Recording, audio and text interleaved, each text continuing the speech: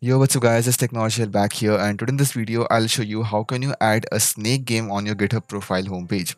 Yes, the traditional snake game that was found originally on Nokia mobile phones. In case you haven't seen my previous video, just go and have a quick look at it. The links in description and on the i button as well. In that video, I have shown how can you get all these stat charts, graphs, buttons, icons, and many more stuff on your GitHub profile homepage. This is my profile homepage and through this readme file, we have done all this. So just go and have a quick look at it. It would hardly take you 5 minutes. And in the end of this video, your final result is going to be a snake running over all these dots that are present on your contribution chart. Yes, it will fetch the dots from your profile and then a snake will come over and eat all of them. And this is how your final output is gonna look like. Seems exciting, doesn't it? So let's get started. The first step is that you need to create a profile repository.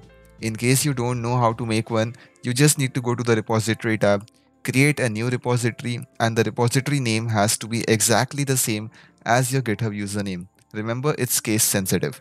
Once in the repository, you need to create a new file. The new file will be named as readme.md. In case you are following me from my previous video, you might already have this file.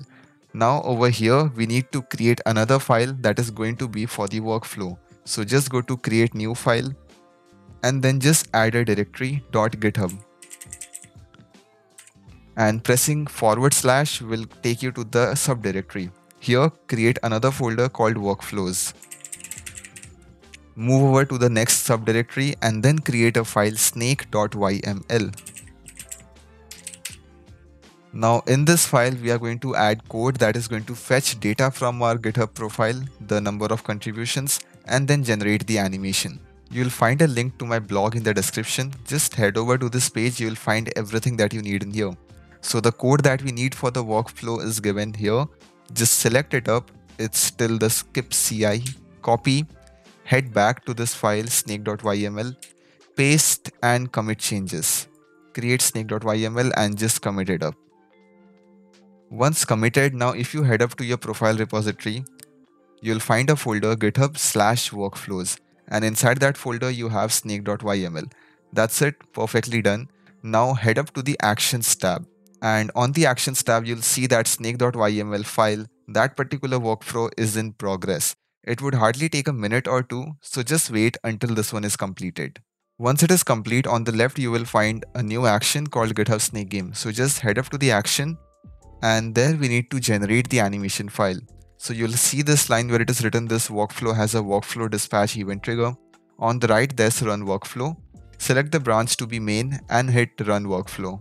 And now it shows that workflow run was successfully requested and the same has started in here. So again, take a rest for a couple of minutes until this one is done and once it is complete you will get this green check mark on here. And that's it. We are done for the workflow part. Now you can head up to the root directory of your repository. And now you will find that there are two branches on your profile. Previously there was only one branch called main.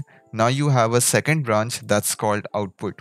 Head up to the output branch and here you will find svg files.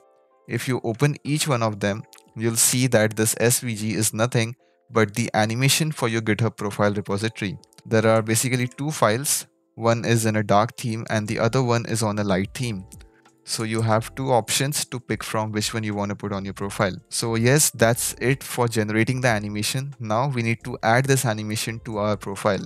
For that, you need to customize the readme.md file. So just open up the readme file. From the top right, go to edit.